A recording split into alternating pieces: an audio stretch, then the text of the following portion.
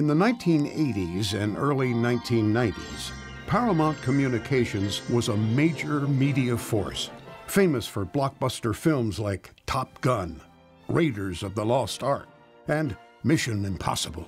In takeover litigation, however, Paramount was anything but Top Gun. In its role as a raider, it lost its bid to derail the merger of Time Incorporated and Warner Communications. And as takeover target for Viacom, its effort to imitate Time's earlier success proved to be an impossible mission. So, in this tale of the two Paramount takeover cases, it was the worst of times and the worst of times.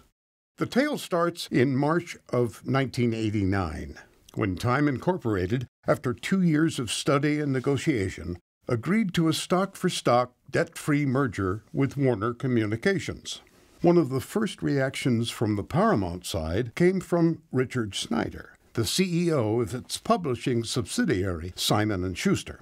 Mr. Snyder wrote a letter to Time's CEO, Nick Nicholas, that described the Time Warner merger as the greatest deal ever imaginable, resulting in a perfect company. But the fear and trembling that struck Mr. Snyder when he viewed the looming Time Warner colossus didn't paralyze Paramount. On June 7, 1989, just over two weeks before Time stockholders were scheduled to vote on the Warner deal, it announced a tender offer for Time at $175 per share, later $200, a huge premium over Time's previous share price of $126. Nine days and several meetings later, Time's board of directors approved a very different Warner deal. Time would make a cash tender offer for 51% of Warner stock. Time would acquire the remaining 49% in a merger for a combination of cash and securities.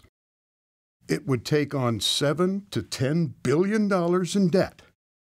There would be no vote of Time stockholders to approve the deal. With that, the Delaware litigation charging that Times directors breached their fiduciary duties kicked into high gear probably with more media and investor attention than any other case in Delaware history. Here's a clip from the live coverage on CNN. The hearing should get underway in just a few minutes here on the third floor of the Delaware court.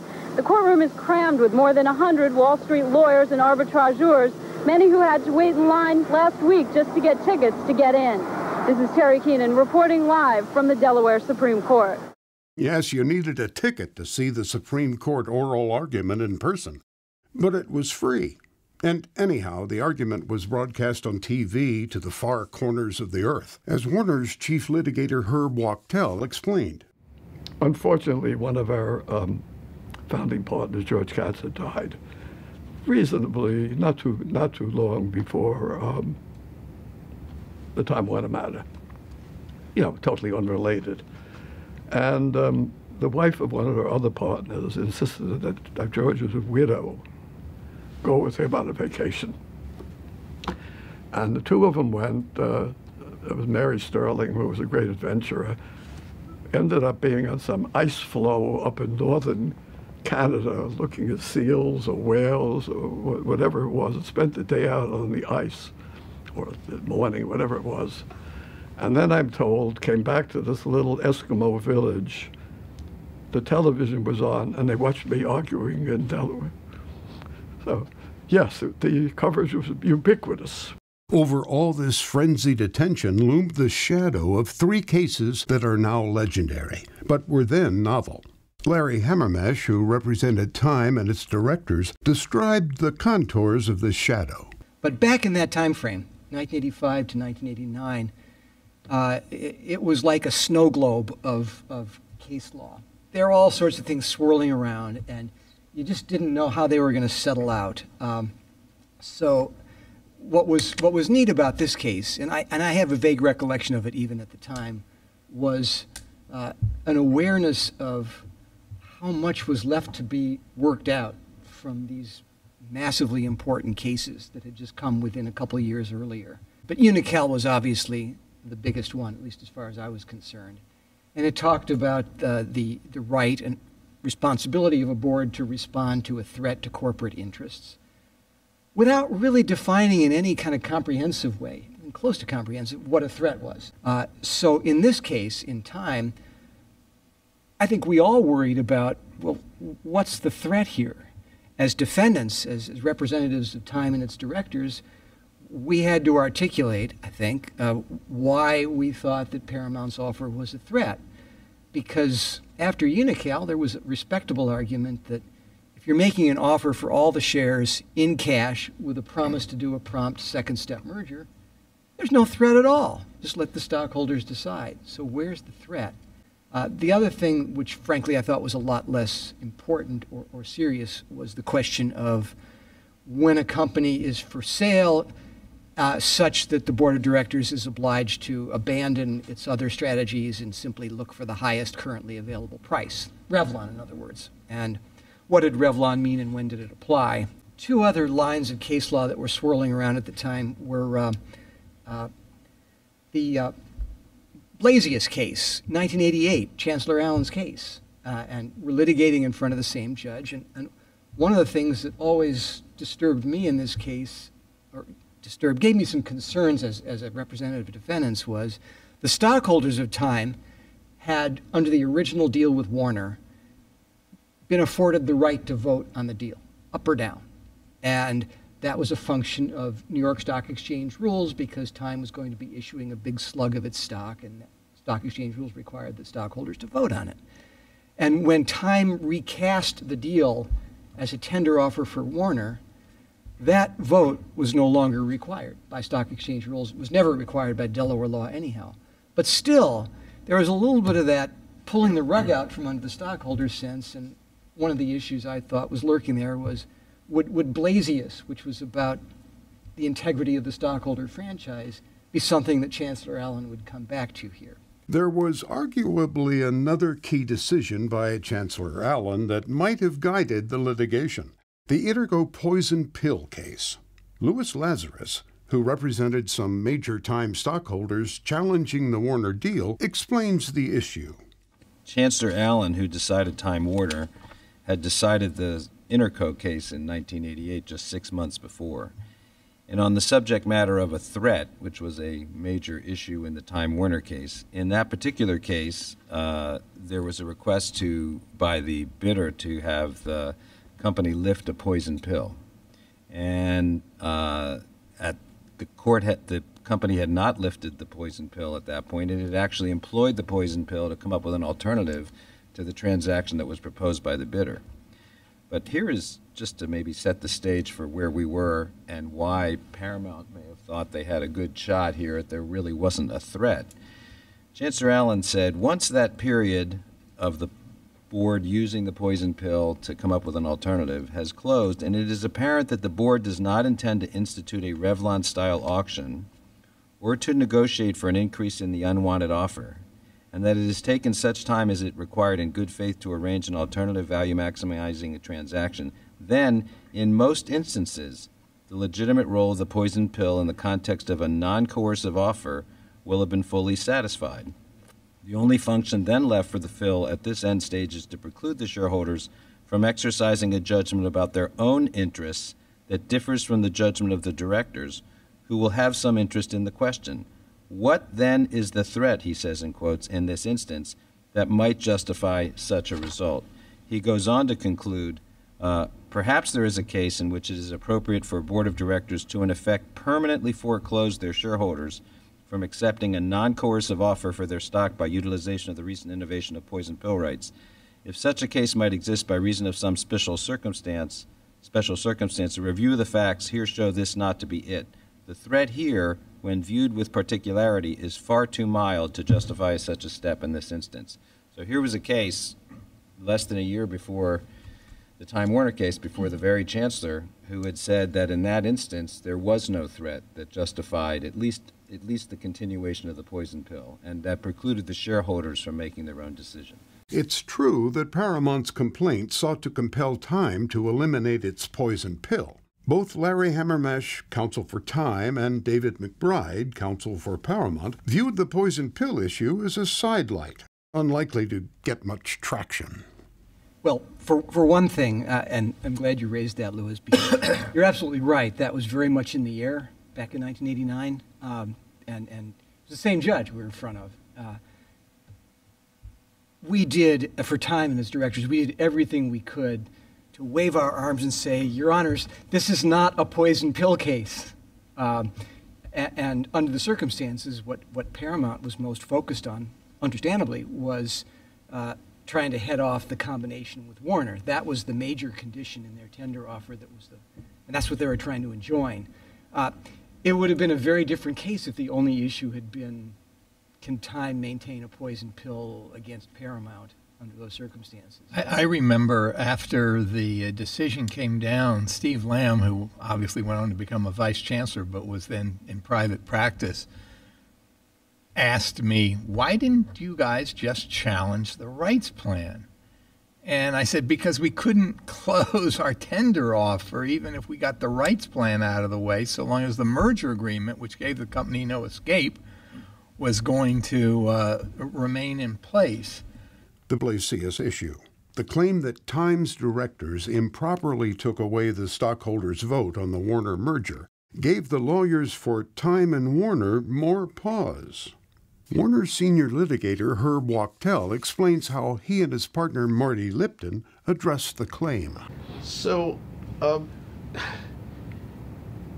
what did you make of? Um, I mean, the the argument in Time Warner that that somehow the shareholders uh, uh, had been deprived of, the opportunity to vote. Yeah, that was tricky. That always disturbed me, um, because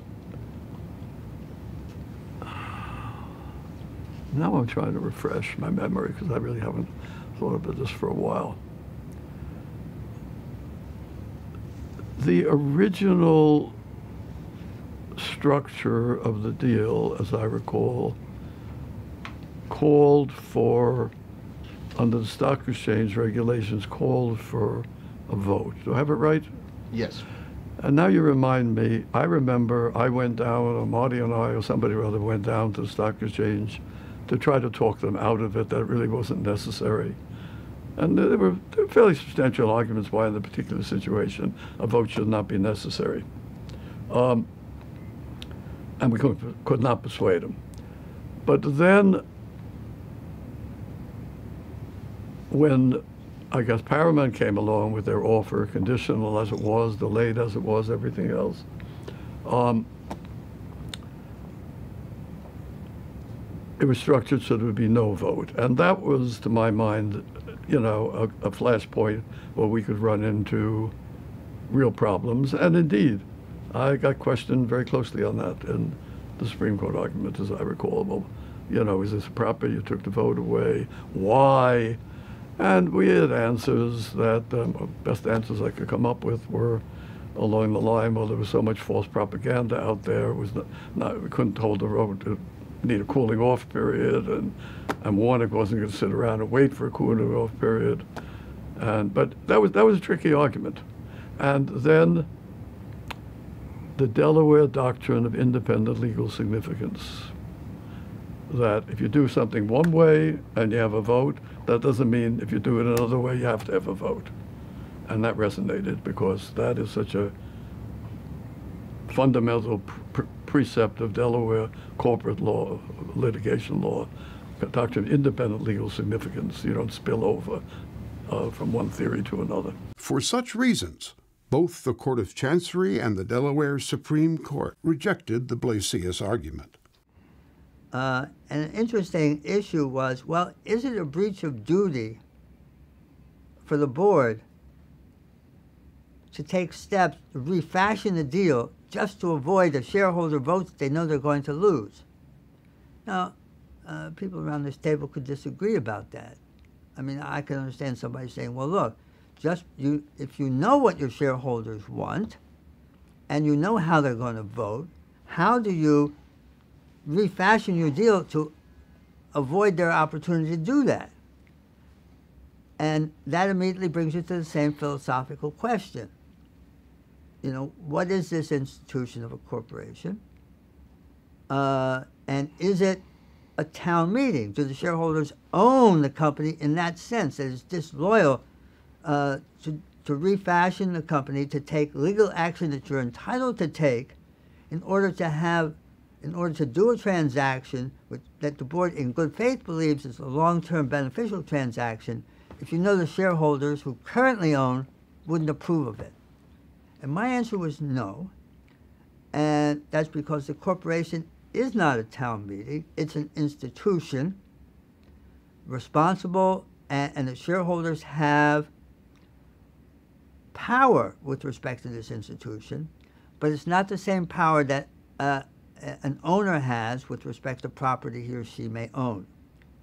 So as long as the board was acting in a good faith and informed belief that what it was doing was in the long-term best interest of the institution, it should have the power to do so. Now, one of the uh, cases that's been mentioned a, a, couple of times is Blasius. Blasius was decided by um, the Court of Chancery initially, and it said there are certain defenses that are permitted under Unocal, but if the primary purpose of the defense is to thwart a shareholder vote, you need a compelling justification. So, one of the things we concluded in talking among ourselves was the primary purpose was not to frustrate the shareholder vote. The primary purpose was to keep the Time Warner deal together. And, you know, there were a lot of debates about how we were going to address that in the opinion. But suffice it to say, once we concluded that the primary purpose was not to frustrate the shareholder vote, that kind of dictated where we were going with the rest of the Unocal analysis. But the Unocal issue was complicated. In live commentary ahead of the argument in the Delaware Supreme Court, Professor Jack Coffee of Columbia Law School identified the threshold issue under Unocal. Is this issue as simple as I've made it out to be? Shareholders versus management in a takeover situation? Well, I think it's a little more complicated than that, Stuart. The Delaware courts have said that any time a board takes a defensive action in a takeover, they will review it to determine whether or not that action was reasonable in relation to the threat. And that gets us into a big question. What's a threat? What kind of threats really count? How much can you do when you have a, a small or a medium-sized threat? And that's where Paramount and Time are going to be disputing. Paramount is saying that the chancellor effectively allows any corporate management in the country predict that its long-term value is over the takeover premium and thereby defend itself and prevent all takeovers. Time says that's much too much. We didn't, nothing like that happen, and we were very reasonable. So, what corporate interests did Time and its directors say that Paramount's offer threatened? One possibility that got a lot of attention was the idea that Time's asserted culture of journalistic integrity would be jeopardized. Some on the defense side felt that it was critical to invoke this threat. In Time Warner, it wasn't so much uh, the Warner side of the argument, but the the Time side, if you will, uh, spent uh, a lot of uh, intellectual capital on the notion of there being a time culture, uh, which the uh, uh, or one of the purposes of the transaction uh, was to preserve. Uh, how did how did you feel that played with the court or played into uh, the wider legal issues? I thought the time culture was critical, and I made my views on that known to time. For others, the importance of relying on the time culture was less compelling. Do you want to maybe pick up where, where we were on on on uh, the time culture? yeah. Again, you were you were asking about whether it was real or a, a litigation construct, and uh, I, I think the answer was it was real.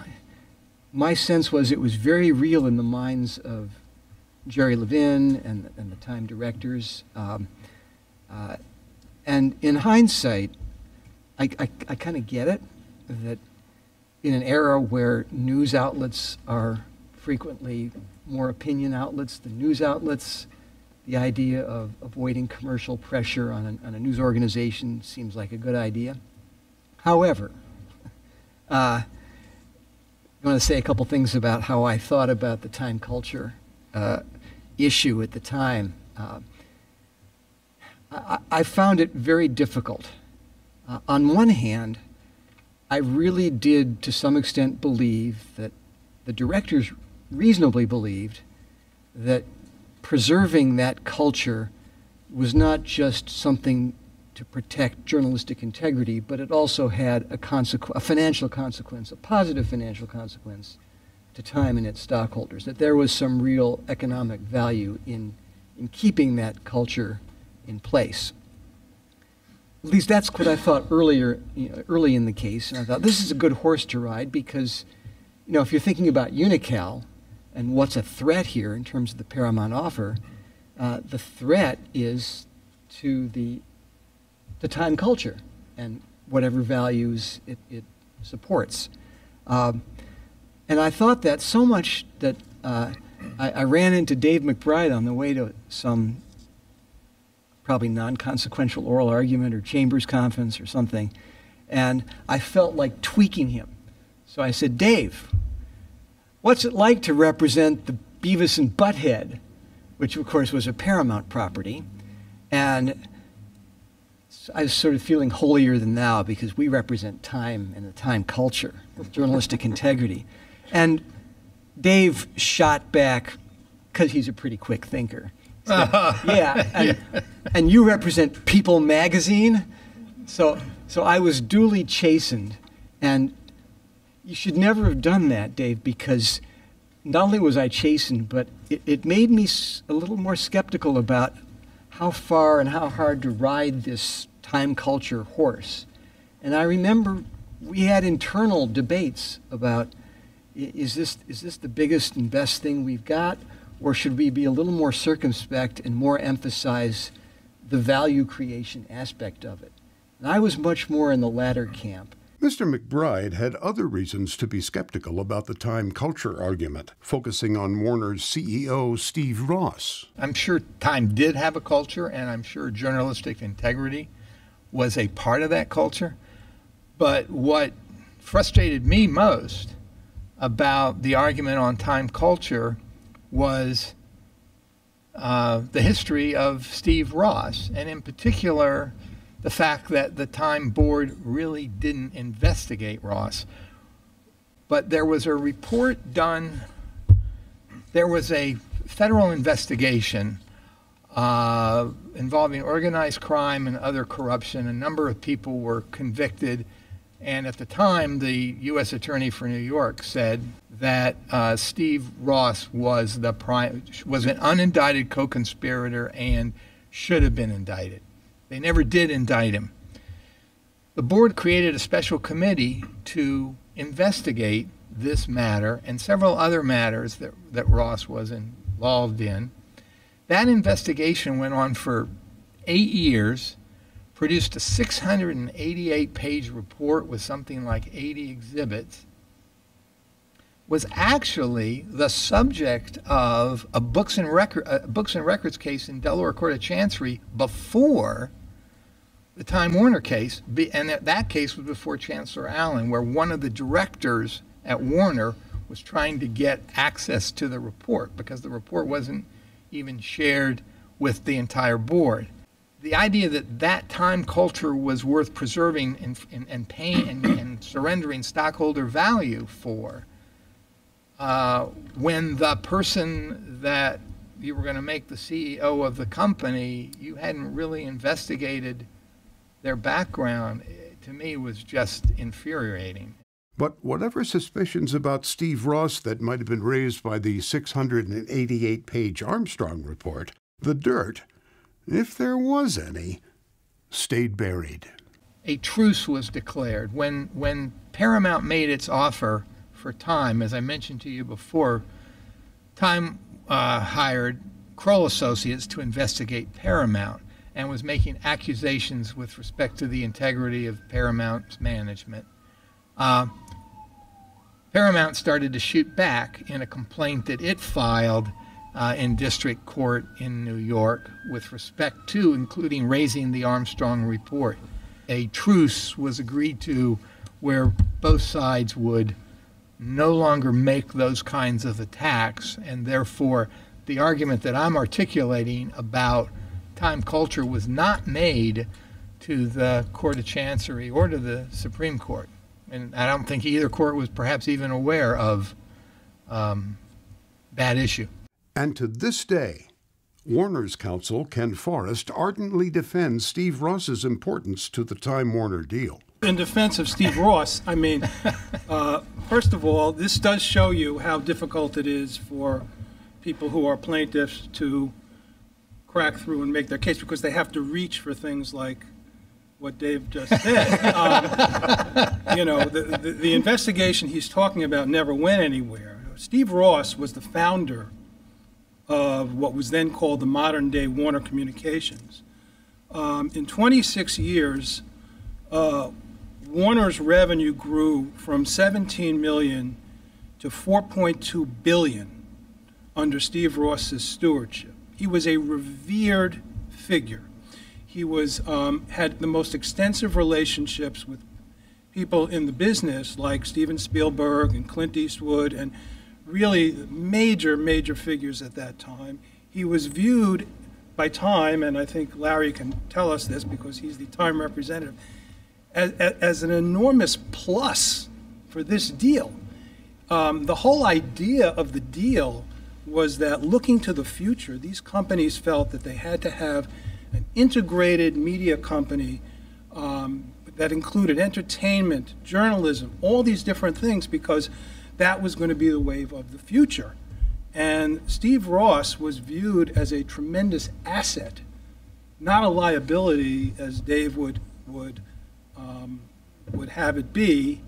And um, so he, he was. I met him a few times. He was a great figure, and uh, I, I, think he was, as I just put it, an asset much more than he would have been deemed a liability at that time.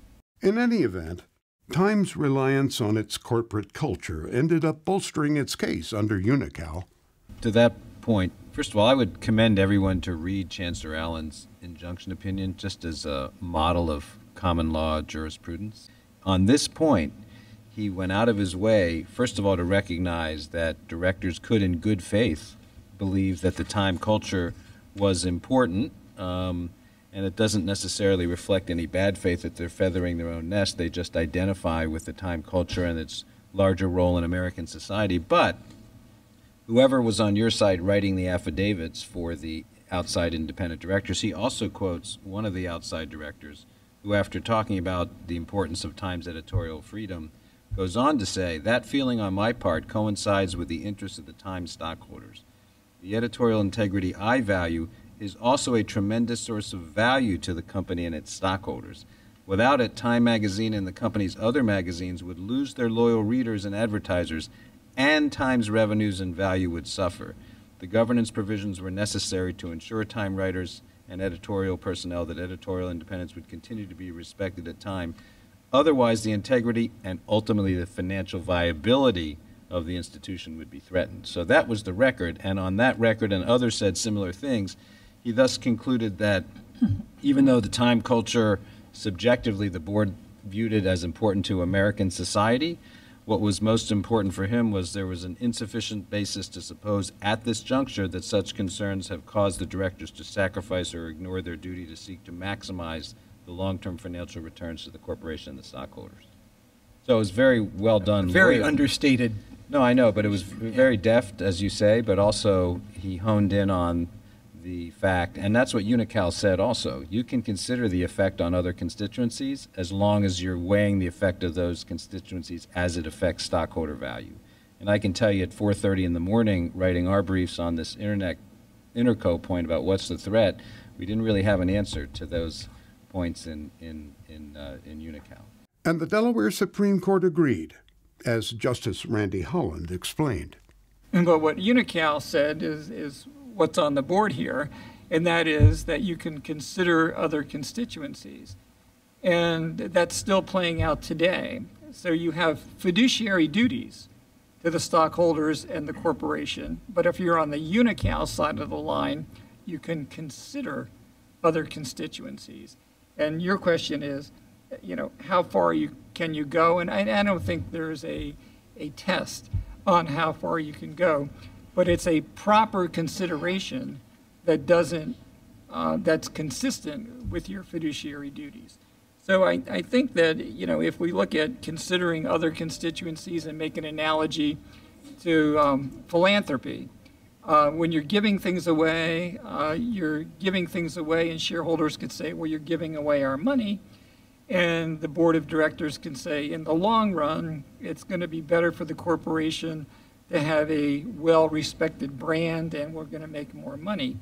When you think about other constituencies, you think about employees or other stakeholders, and you can talk about paying people more money and saying, a happy workforce uh, is going to be better for the company in the long run, so we should pay them much more than the minimum wage. So you have to make a connection, um, and, and, it's going to be fact driven. But I, I, think we clearly wanted to reiterate here that if you're on the Unocal side of the line, there's a lot that you can take into consideration. And this is the, uh, this gets us back to the corporate culture business again, because the other constituency, as far as I was concerned, it was relevant here, was the public and its interest in, in uh, uh, accurate information, accurate journalism. Uh, how far can you ride that horse? Again, uh, we felt, I particularly felt it was necessary to, to do what Justice Holland just did, which was to say there is a link between that and value to stockholders. Uh, but you know, it's it's kind of hard to measure. Now, Unocal lets you put a lot of things in the mix, and I don't think anything's going to be determinative. But you never know what's going to resonate with the court, so the more you can put in the mix, the better. And what weighed heavily in the mix was the fact that the Time Warner combination had been in the works long before Paramount made its bid and the bid itself was a threat to that pre existing, thoughtfully selected corporate strategy. Ken Forrest of Wachtell Lipton, representing Warner, elaborated. I always thought we had the upper hand in the case, Time and yeah. Warner. And one of the reasons was, and this I don't think it's really emphasized yet um, today, now, Unocal allows you to be responsive if there's a perceived threat, a board can be responsive. In this case, however, um, the plan, the response, was in existence for months before Paramount came in.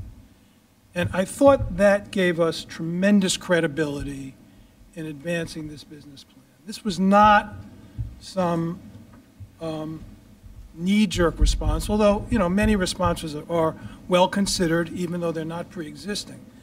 But in this case, the fact that it was in existence for all those months, the fact that um, it obviously had merit, um, obviously had merit, whether one thought one was preferable or the other. Um, I thought, always thought that Delaware would um, want to uphold it. Mr. Forrest's instinct proved correct, and Paramount's Unocal argument met with open skepticism, first from Chancellor Allen. The fundamental question was well, does a two public companies who have, with no conflicting interest, have decided to bring their companies together, originally in a, a stock for stock merger, uh, and then which requires a shareholder vote. Uh, and then before they uh, can execute this strategy, a hostile third party makes a all cash offer. Should the, those companies uh, be required to step away from their strategic alliance in order to give the shareholders a one time opportunity to get a lot of cash? I mean, it was a very large premium uh, over the price. And by this moment, those shareholders are to a large extent uh, arbitrageurs, short-term investors. So there is no question that if at this moment you say, okay, let's ask the shareholders, they own the company, what do they want? They would have said, we want the money. No question. So, what is the law required? And this immediately brings you to a philosophical question. you know, what is this corporation for? What is it? And who gets to say? Uh, and the idea that the shareholders are owners and they always get to say is a simplistic understanding of the law. That, that is not the law. A corporation is, uh, as I may have said in that case, a Republican form of government. Not, it's not a town meeting. The shareholders don't get to have a, have a say every time they want to have a say. And so once you believe that, then it's pretty easy to take the Unocal test and say, is this reasonable in relationship to something? You know, because these words, reasonable in relationship to threat, you know, it, they're not, they don't apply themselves. They, they are driven by some conception of economic and moral utility. And so, what was driving the decision in the Time Warner case on the Unocal side was the vision that I just expressed about what the institution is about. In the Delaware Supreme Court, Justice Andrew G.T. Moore's questioning of Paramount's lawyer Mel Kantor was even more pointed on this subject, drawing on the letter from Mr. Snyder to Mr. Nicholas, lauding the Time Warner deal. I don't think you answered my question about, about Mr. Snyder's letter of March 9, 1989, when he views it as uh, the greatest deal ever imaginable. Your Honor, first of all, I think, as Your Honor read the entire letter, it is a bit puckish, a bit tongue-in-cheek. But in any event, we do not question that Time Warner is a good deal. We don't question that. What, then, then don't you lose? No, Your Honor, I don't believe we lose. Because what we do, you can have a good deal and you can have a better deal. And but, if the, if but if we go back to the concept that we're analyzing this under Unocal, and right. you've indicated Time and Warner is a good business arrangement, and your argument is Paramount may be better. And we take the principle that to a certain extent the board is recognized as someone who can be the intermediary between the stockholders and someone that wants to present another proposal. If we're really down to two business choices, uh, why doesn't the board get the benefit of the business judgment rule here? There was one possible answer to Justice Holland's question that we still haven't explored. What if Time were essentially up for sale, and its directors were therefore obligated to seek out and accept the deal that got the Time stockholders the greatest current value for their shares? In other words, what if Revlon applied? Larry, on, on our side, I mean, I know the shareholder plaintiffs were making an argument that Revlon was triggered because now a majority of the stock after the original deal would be in the hands of, uh, of Warner stockholders, and so that was a change of control. There should have been a control premium. You're you're now in Revlon mode. Um, we didn't think that was going to be a very successful argument, so while we made it, we didn't emphasize it. But the court gave us credit for a more subtle, although rejected argument, and that was that that original transaction was going to result by design in a company that was so big and so massive. As a practical matter, there could not be anybody who could ever uh, take over the combined entity. Our argument was this company, it would take $30 billion because that was going to be the combined value of the new entity and so, who is going to come around in the foreseeable future? As a practical matter, if we don't get a control premium now, you're depriving it of the, the Time stockholders of that forever. Not a bad theory, but one that crashed headfirst into testimony by Paramount's CEO Martin Davis that Paramount might make a bid even for the combined Time Warner. You had the great deposition question where Martin Davis said maybe we'll bid for the combined entity. So the idea that, so that as a factual matter, somebody once said there's nothing worse than a theory de- destroyed by a fact. And as a factual matter, there was a record that you know, even Paramount might potentially bid for the combined entity. And there was the RJR Nabisco case that I think was a $10 billion transaction yeah. at the time.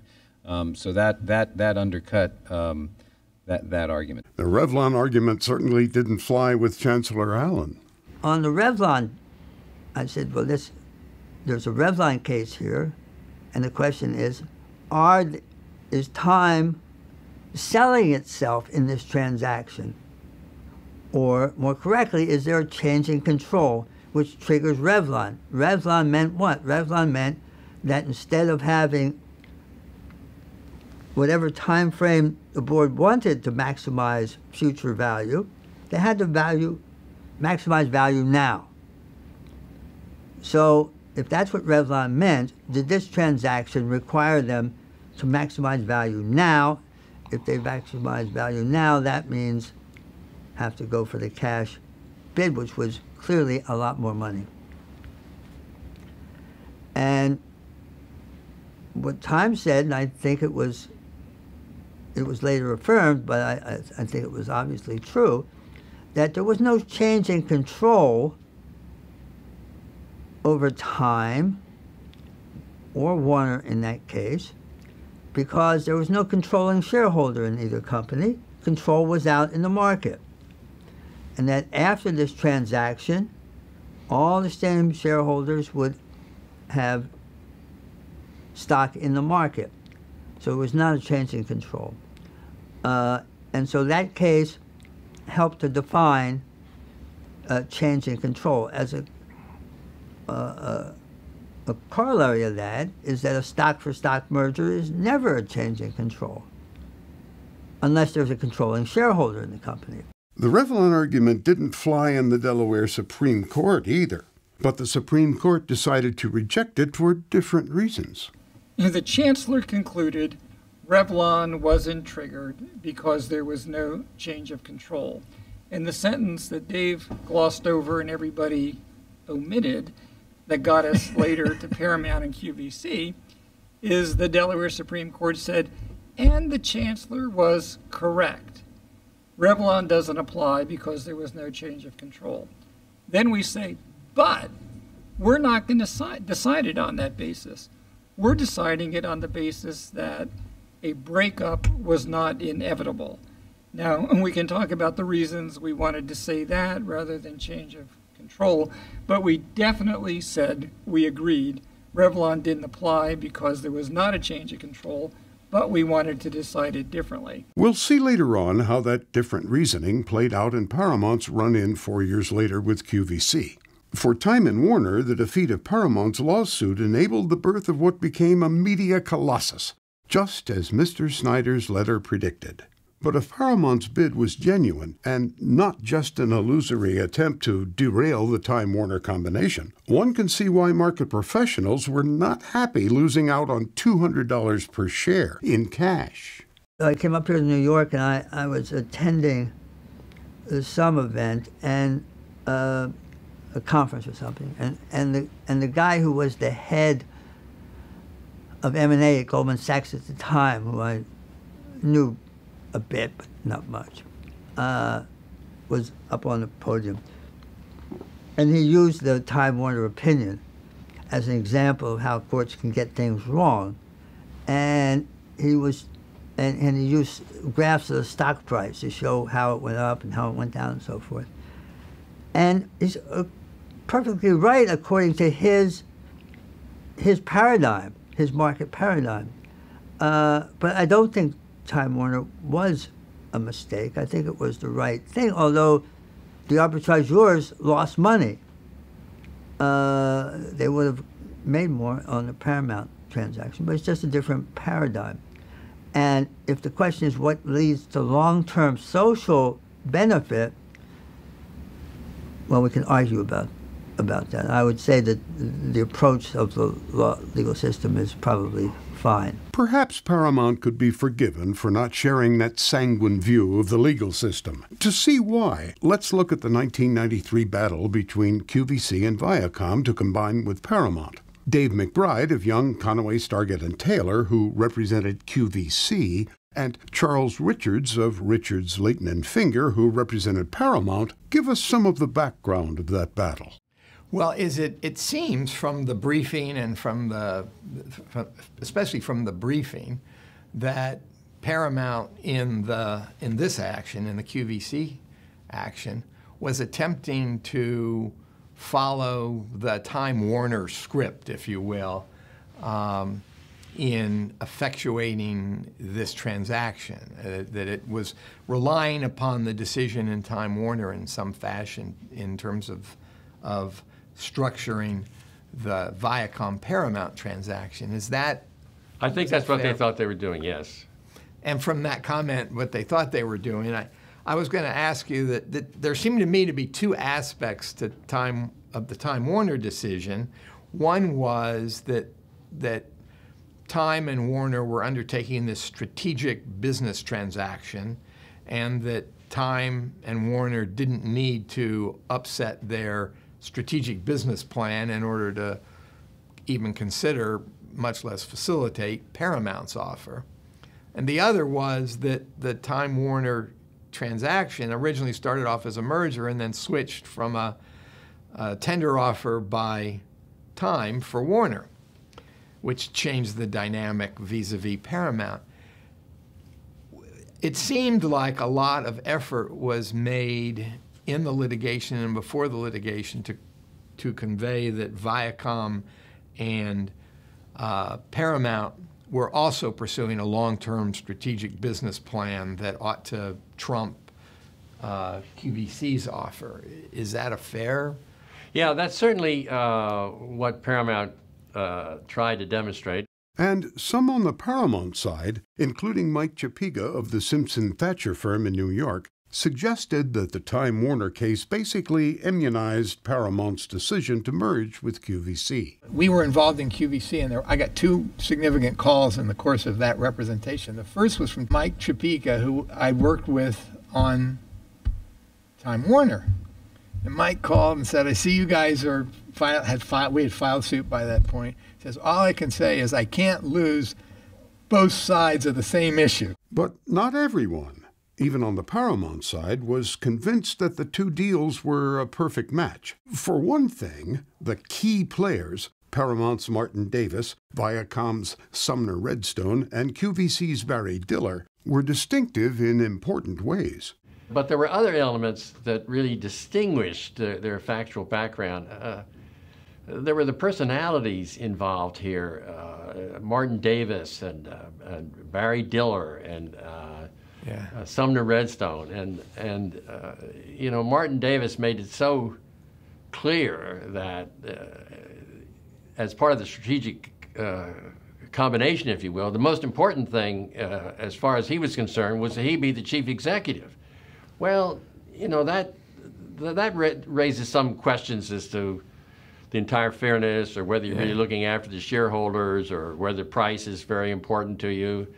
And uh, they've been fooling around with Viacom for for three years, really. So, was it was it Barry Diller who who who said, "Oh, I'm not coming after you"? Uh, that, that really triggered Martin Davis to say, yeah. hey, this strategic combination looks pretty good. Yeah. Uh, certainly that, that question is raised. Uh-huh. And, and, then uh, who was it? Was it, uh, was it uh, Bob Greenhill or one of the investment bankers told Martin Davis, Barry Diller is coming after you?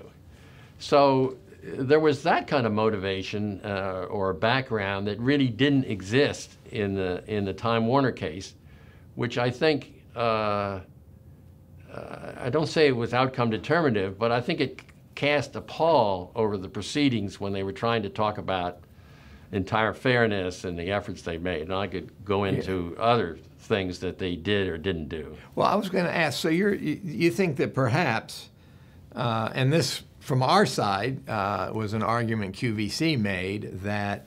Uh, uh, Paramount wasn't really that interested in a combination with Viacom, that there had been earlier talks and offers made that were rejected, but once uh, Paramount thought that QVC might be coming after it, Viacom looked like a better partner.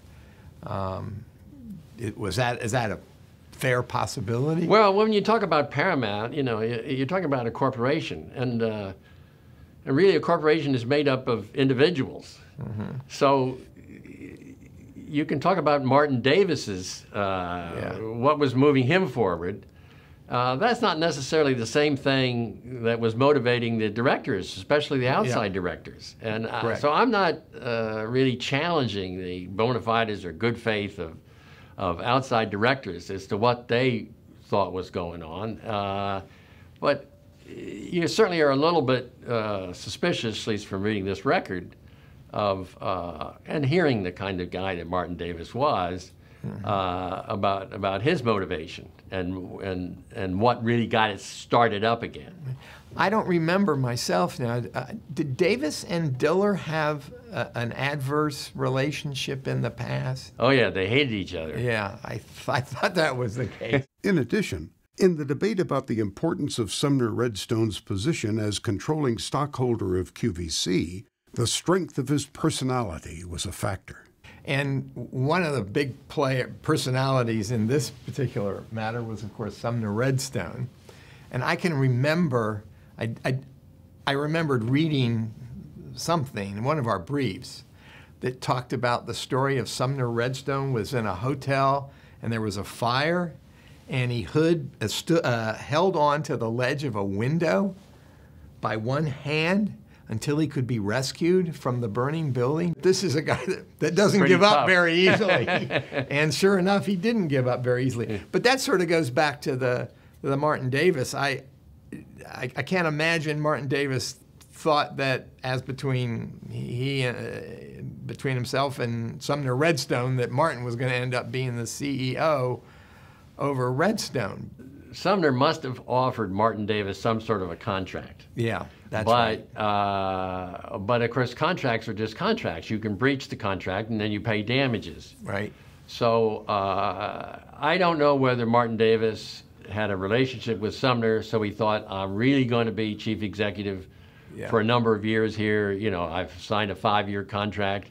Or whether he thought, look, I've got this contract. I'm named the chief executive for my pride and my face. If a year or two later down the road Sumner lets me go, okay, I'll get the damages, you know. So I, I don't know what he thought, and I don't know what Sumner thought. So, uh, Yeah. But from the outside, as a lawyer, Yes. I was quite skeptical that Martin Davis would have a long career at uh, at the combination. But Yeah. but I, I don't know. Well, I think we were skeptical on our side that, that he would have uh, a, a long career there as well. Another weak spot in the Viacom Paramount deal was the suggestion that the Viacom deal was actually worse than it looked because Viacom stock, which was part of the deal price, had been inflated by stock purchases by Sumner Redstone. That triggers another recollection of, mine that uh, all the things that they did here, I think, raised suspicion in the Supreme Court's mind and the Chancery Mhm. Court's mind. I mean, maybe they weren't the reasons that were decided, but but once again, uh, they were taking this stock. But it's, it was pretty apparent to me, maybe it never was a proven fact in the case, that Redstone had manipulated the price of his stock by buying in. And, and, uh, and uh, Paramount hadn't said, well, well, therefore we have to have a collar uh, around this Right. so that it doesn't drop. And, and so there, there's a half a dozen of these, what I'll call details, but they're really not details, where it just didn't seem that the, the Paramount was very skillfully looking out for the interests of its shareholders. Let's put it that way. Well, in fact, I wrote that part of the factual argument in QVC's reply brief, uh, focusing on the fact that an offer had been made by uh, Viacom for Paramount in July that had been rejected. And then Redstone went in the market and started buying up Paramount stock, and the, and the price of the stock rose. So that the It deal didn't just rise, it almost doubled. It went from the it was- 30s into the 50s. Yeah. And so the deal that was actually done was less cash than the deal that Paramount's board had rejected as inadequate back in July and only had a, a value, a market value, in excess of the old offer because of the inflated price of the stock. As it turned out, though, these suspicions and factual uncertainties didn't seem to matter. What was important was the indisputable fact that the Paramount board didn't ask a lot of questions that would have come up if they had believed that they were managing a bidding contest between QVC and Viacom. I had a very, very strong view of how QVC to be litigated. Um, and I called it the dog that didn't bark.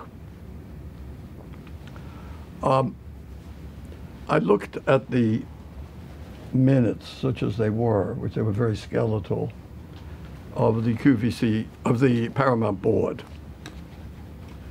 And. And um,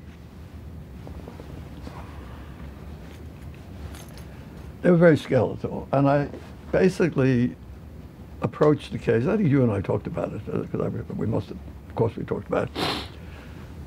And I sat back and said, if I had been running that board meeting, how would the board meeting have been conducted? What should the board have known?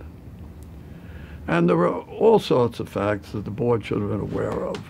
It was that um, between the time they turned down a previous offer uh, and the time of the offer they were accepting, uh, Redstone had been buying up shares of stock, so it made the, the new offer look like a great offer when actually was inferior to the previous offer.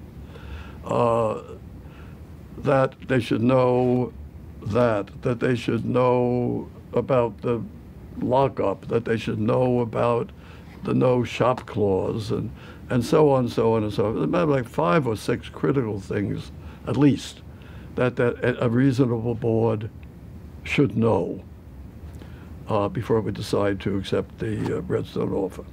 Oh, there was options. I mean, a whole, whole, whole bunch of things. And I insisted that I would take the first deposition of a board member, and that hopefully that would be the prototype of everybody else who was taking uh, the continuing depositions. And my whole sequence of questions was the first guy, uh, well, at the board meeting, were you told X? Did anybody ask? No. No, I don't remember that. And on and on and on, just a pattern. And that, and then a perfectly continual pattern continued on, on every other director. Because in fact, they hadn't been advised and nobody had asked. And that became the brief, particularly I think in the Supreme Court. Uh, it was it was the dog that didn't bark. We uh, we had no we had no affirmative facts. we no we know oh we, we had the facts of uh, when a raise came or when, but what did we have to show that the board didn't act reasonably? And we had no affirmative evidence in act easily. It was only this what we created. You should have been told this, and you weren't, and nobody bothered to ask. And that was powerful, powerful, powerful. Uh, I think in uh, in winning in winning that case in the Supreme Court. These facts also powerfully affected Vice Chancellor Jacobs, who decided the case in the Court of Chancery. One of the unusual things about this case was that uh, Wachtell Lipton, which had a, a long track record of representing target companies, is now on the side of the bidder. Did that come up in any way? Did that manifest itself in the case in any? Not in any uh, explicit way, but everybody knew uh, that this is a new departure for uh, Wachtell. Uh, and it, uh, they sent in their very senior warrior, uh, Herbert Wachtell, you know, who litigated the case, litigated the case uh, in both courts. and, you know, I, I think we'll one of his partners uh, once described him as a force of nature. But, uh, you know, like Ned Carpenter, to me, he was one of the great uh, advocates uh, and someone, uh, you know, that was able to uh, assimilate a, a conglomeration of, of very complicated facts and turn it into a simple story and, uh, and be consistent with any, you know, any development that happened after that. So, um, and uh, as you know, that, you know, they ended up winning that preliminary injunction case, and that it got affirmed. Uh, again, the problem was not really with the facts. I mean, the facts were pretty clear. uh, but the law was not. So, what was unclear about the law, and why was that important? The irony here, of course, as anybody who's looked at this case knows, is that the defendant uh, defending the transaction against the hostile bidder is Paramount, which had just a few years before been itself a bidder in a case against Time with respect to the merger with Warner. Uh, and uh, I think it's fair to say that the, the lawyers for Paramount and Viacom, which was the original merger partner, uh, did their best to wrap themselves in the mantle of the court's approval of the Time Warner transaction just three or four years earlier. What kind of issues did that present for you? Well, uh, the I mean, this this is a transaction which, if the law, if Revlon applied, if it was a, a so-called Revlon transaction, then it would have to be enjoined uh, because there was a billion, almost a billion dollar difference between the deal that the that was uh, heading toward a closing, to a you know to a with Viacom, yeah, with Viacom, and the deal that uh, was being offered by QVC. Paul Rowe of Wachtell Lipton offered one explanation for the failure of Paramount's board to pursue the highest available deal price. They misunderstood the law that governed their actions. So, one of the uh, the thoughts that uh, some observers uh, have had about what was going on uh, inside the Paramount boardroom was that they were in effect operating under a mistake of law. They believed that they had no legal responsibility to deal, or their advisors believed they had no legal responsibility to answer any of the questions that you refer to or to provide the board with information because in their mind they were operating frankly under uh, a an unreconstructed Time Warner uh, approach to life, where if you're doing a strategic deal, you don't have to pay attention to somebody who comes along and wants to uh, uh to to buy. So, where did the Paramount director's approach to life come from? After all, everyone agreed that Sumner Redstone would be the controlling stockholder if Paramount merged with Viacom. And Chancellor Allen, in the Time case, said that a change in corporate control does place the board in a situation in which it is charged with the single duty to maximize current share value. As Justice Randy Holland noted earlier, the Delaware Supreme Court's opinion in the Time case found that Chancellor Allen's ruling was correct. So, what was unclear? Former Vice Chancellor Jacobs, who found the law unclear on this point when he ruled for QVC, explains. So the issue was, uh, one of the issues was, uh, is this a Revlon transaction? Um, that, you know, what was, that was a problematic issue because the Supreme Court uh, went in two completely, what appeared to be two completely opposite directions, as you intimated. In 1988, they decided a, a takeover case called Macmillan. And uh, in the, their opinion, uh, and, and, and, all of the, you know, the, the, the, Macmillan was 1998. I think, or 88, 89 was uh, Barkan. And in both of those cases, there, the question was, uh, was Revlon applicable? And the Supreme Court said Revlon is applicable in three situations. First, if the company puts itself up for sale. Secondly, if the company uh, um, commits to what is effectively the same thing uh, called a bust-up transaction, that is, they sell it off in pieces uh, rather than as a complete integrated company. Or thirdly, if there's a change of control. And that was the doctrine, the law in 1988 and 1989. Then we get to Time Warner. And Time Warner, uh, the you know this the the deal was cast as a merger of equals, so that there would be no uh, you know, controlling shareholder. Uh, one of the arguments was that uh, this was a Revlon deal, and therefore, uh, you know, the uh, Time Warner directors were breaching their fiduciary duty, you know, by not abandoning the deal with uh, Warner uh, and by not accepting with open arms Paramount's. So in that particular case, the chancellor, citing uh, I mean, said, no, this is not a Revlon deal. There's no change of control, which there wasn't. Uh, there's no, uh, they, the company didn't put itself up for sale, and they're not, you know, they're not uh, busting the company up. You know, this is essentially a third-party merger. It's part of a long-standing, the culmination of a long-standing business plan, um, and uh, you know, there's no breach of fiduciary duty. Goes up to the Supreme Court, and uh, in dictum, because the Supreme Court didn't really need to do it, but they uh, held, uh, when they, in talking about Revlon, that there are, without excluding other possibilities, two, two circumstances, not three, where uh, Revlon is triggered. The first is where the company is put up for sale. The second is where the company is committed to a breakup or bust-up transaction. It doesn't mention change of control. Period.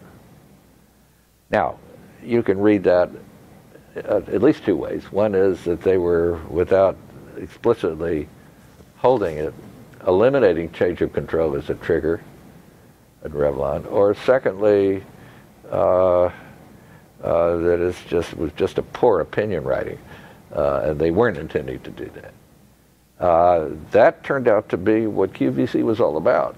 That is, the, the it turned out to be a billion dollar bet on the part of uh, Viacom uh, that, that, that the Supreme Court really was intending to strike a change of control as a trigger for Revlon, and therefore uh, the change of control transaction in Viacom, in the QVC Viacom Paramount case uh, didn't matter. Didn't matter. It was not a Revlon deal.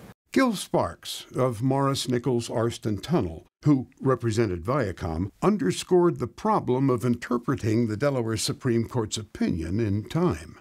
Instead of saying three circumstances, they, they, they went out of the way in the opinion to say two circumstances. And, and change of control wasn't one and of them. change of control wasn't one of them. And clearly, this, the, the, this was the, the, the, the test of whether either on October or September 12 or, or October 24, you had what we have come to call Revlon obligations or Revlon duties or not, depended on whether or not there was a change of control within the meaning of Revlon and all the cases that followed it. And, uh, and by arguably, and I say that because that's what we're talking about, that's what we were yeah. arguing, yeah. arguably, uh, the Supreme Court in time backed off that and took change of control uh, off the table. And, and, and probably that's the right time for me. To, that's where that's what we faced, yeah. and those were the, and, and and and both Paramount and Viacom. Uh, made the take the table off the table argument, and then when it came to policy, they had some arguments. Our argument uh, was was basically, look, you're going to discourage bids from uh, entities like uh, like Viacom, who happen to have a controlling stockholder. And by the way, there's a huge equity uh, surviving component here. So maybe this is more like a stock for stock and Time Warner than it is uh, um, a, right. a, pure cash out merger. Those were our policy positions. They didn't carry the day, but, but that was what we were talking about. So, how did Vice Chancellor Jacobs resolve the issue of interpreting Revlon's treatment in the Time case? Simple. He punted. The problem for me was, uh, you know, which Supreme Court opinion do I uh, do I credit? You know, do I go with uh, Mil- uh, Macmillan and uh, Barkan, or do I go with Time? And uh, you know, I ended up. It was one of the most difficult cases I've ever had. you know, ended up doing draft after draft and throwing them away because there's no way, you know, I could resolve, you know, the, the Revlon issue directly. There was just no way to do it. Uh, and so what I ended up doing, particularly since uh, we were fastly approaching uh, the takedown date for the tender offer was to say that to point out the problem, uh, but state that uh, you know that it wasn't necessary to resolve whether or not this was a Revlon case, because the same result should have obtained uh, since uh, Revlon uh, Revlon really was an enhanced scrutiny case, and because of the behavior of the target company board uh, in not exercising due care in evaluating whether or not to jettison uh, the deal they had and go with the higher offer, but just you know basically they were in lockstep with what senior management wanted.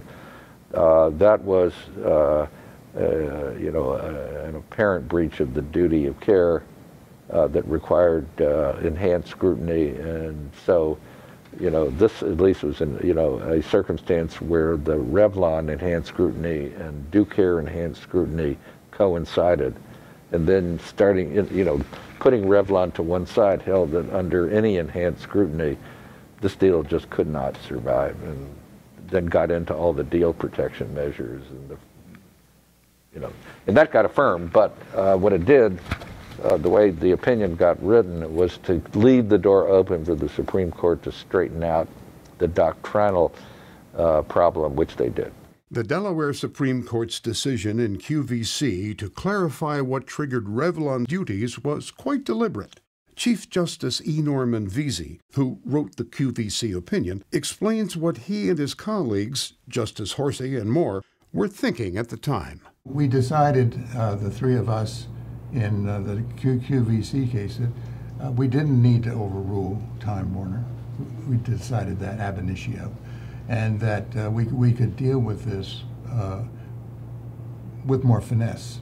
Mm-hmm. And uh, Gil talks about the policy. That's one of the policy arguments that that we were we, we were wondering about was Vice Chancellor Jacobs had done such a super job in, in navigating this Court of Chancery decision.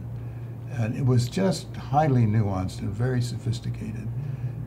But we sense that he would like to have a sweeping ruling that says change of control is Revlon, end of story. Um, and so we decided as a matter of policy we needed to do that because that had to be the result. And we did deal we did deal with this language about uh, breakup. Mm-hmm. It's not. We said it can't be that you have to have change of control and a breakup. You could have one or the other. And here's what we said: the paramount defendant's position that both a change of control and a breakup are required must be rejected. Such a holding would holding would unduly restrict the application of Revlon is consistent with this court's decisions in Barkan and Macmillan and has no basis in policy. This pronouncement was a great step forward in clarifying Delaware law, but it came with language that briefly gave QVC's lawyers concern that the Paramount Board's strategic vision of a combination with Viacom would trump any duty to take a higher cash price offered by QVC. After the Supreme Court opinion came down, our concern was that the auction was going to be conducted like most auctions, where the board would be the auctioneer right. and make the decision as to which offer was the higher offer right. and which was the lower. And we were concerned, based on the Supreme right. Court opinion, that the Paramount board would find the intrinsic long term value of Paramount combined with Viacom vastly better than the intrinsic long term value of Paramount owned by QVC. And so when the Paramount board came out and said, we're going to conduct an auction where the, with, of competing tender offers where the stockholders are going to make the choice which is yeah. better, and whoever gets 50% or more wins, we were like, huh, what a relief. Because we knew the stockholders would be making the decision based on immediate value. Right. And so they did. But it was Viacom, not QVC, that ended up putting the greatest immediate value on the table. The strategic vision of a Viacom Paramount combination, therefore, carried the day, although at a price about $2 billion more than what Viacom had originally agreed to pay. Speculation about what ifs that might have avoided the application of Revlon didn't persuade even those on the defendant's side. The other thing to think about, we'll never know the answer, although we do know the answer. I think we do know the answer based on the clarity that we got as a result of the QVC opinion. But the original Viacom uh, proposal, if you recall, was 90% stock and 10% cash. Right. When by the time it got up to the court, it was 51% cash and 49% stock the argument, the policy argument that there's a, a, a, a, large continuing interest, and this should be not dealt with the same way you deal with a cash out merger. This is uh, uh much closer to a, a non Revlon transaction. That would have been much more powerful if the September yeah. 12 deal was the one that was on the table. Now, my, yeah. it would have, it would have, under the reasoning of the Supreme Court, it would have still lost. Yeah, but because it, would have, it was a change of control. Change of control, yeah. but it would have been um, it would have been a, a, a lot it would have been a harder argument, it would have, uh, or harder result yeah. uh, to reach. The other, the other thing that uh, passed, uh, I know, I know you thought about it. Uh, um, I know I've thought about it since. Is I suppose there were things that could have been done uh, um, to, if you will, mitigate the control power of Sumner Redstone in the combined entity. Under the original agreement, uh, Sumner Redstone or his affiliates, companies, was were going to be would, would end up being the controlling stockholder of the combined Viacom Paramount. That was built in from the beginning. Do you recall any discussion, uh, either at the beginning or during the process, of trying to put some constraints on the on the power that Redstone would have as the controller of the combined company to try to avoid the uh, the Revlon. Uh, I don't recall any any such discussion. I would have thought that by the nature of Sumner Redstone and the kind of guy he was, that uh, he would not have welcomed any such suggestions. Well, I can tell you from our side, when we were structuring the argument our side and focusing on Redstone's control as triggering Revlon, the fact that Redstone would have control right. and there was a change of control. I was concerned that your side would respond by restructuring something, putting some constraints on Redstone um, uh, and the powers that he would have as a controlling stockholder. And I was told by more experienced attorneys, particularly at Wachtell Lipton, that knowing just what you said, that knowing Sumner Redstone, there was no chance that there were going to be any restraints put on Redstone, and we could rely on this change of control argument um, and not uh, and not worry that some, something would uh, some restrictions would be put on Redstone.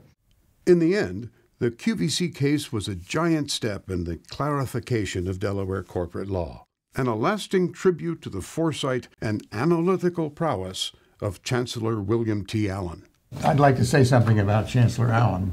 He was a giant of the judiciary, uh, and he and his opinions have resonance today, uh, as always.